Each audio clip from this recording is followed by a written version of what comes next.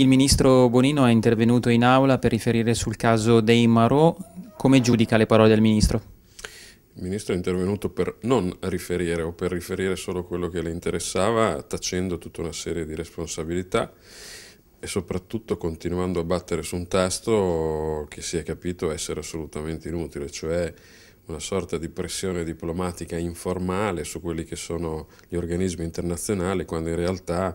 eh, da mesi doveva essere fatto, ma questo non lo diciamo adesso, lo diciamo, ripeto, dall'inizio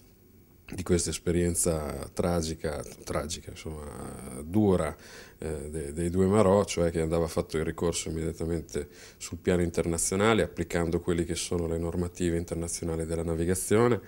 e soprattutto facendo valere il fatto che erano sono militari che compievano un'azione militare sotto l'egida, in parte anche sotto l'egida dell'ONU e che quindi se erano stati fatti degli errori devono essere eh, in qualche modo eh, valutati da un tribunale militare italiano, non sicuramente da un tribunale indiano. Quello che ci ha dato veramente fastidio è che per l'ennesima volta si voglia tacere sui motivi per cui hanno prima fatto andare in porto questa nave, e poi respinto, in qualche modo regalato, relegato ad ostaggi di un governo, quello indiano,